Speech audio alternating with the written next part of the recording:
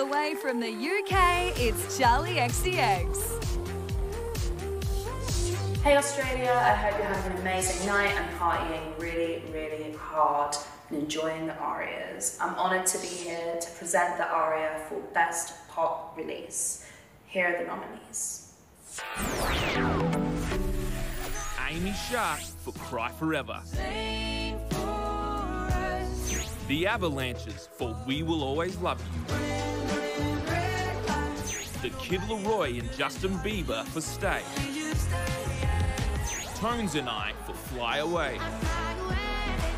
Vance Joy for Missing Piece. And the aria goes to the Kid Laroi and Justin Bieber for Stay. Well done guys, congratulations. This is the 18 year old's first ever ARIA Award win. Stay is a worldwide smash hit, having spent 18 weeks at the top of the ARIA charts and peaking at number one on the Billboard Hot 100. Hey, what's up? It's Laroi, and uh, wow, I guess this is a great start to the night. Uh, best pop release. Um, I just wanted to give a big shout out to everybody in this category. Um, a big shout out to, again, everyone who supported this song um, and taking it to what it is. Um, and a big shout out to my brother Justin Bieber for being a part of this record and uh, helping me make it so special. I love you guys. Thank you.